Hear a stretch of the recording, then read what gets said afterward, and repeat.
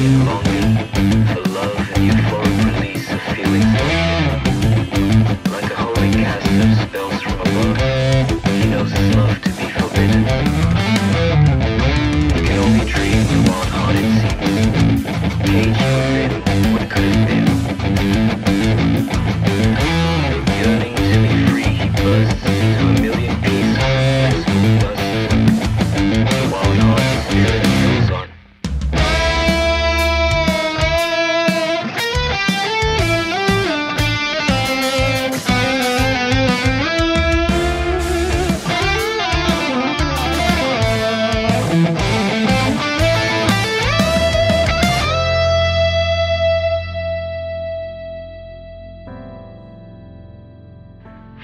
Across all that is and will ever be.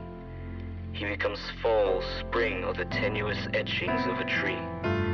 He becomes summer and winter, the ending of the sun's slumber or the wither of snow that soon will melt.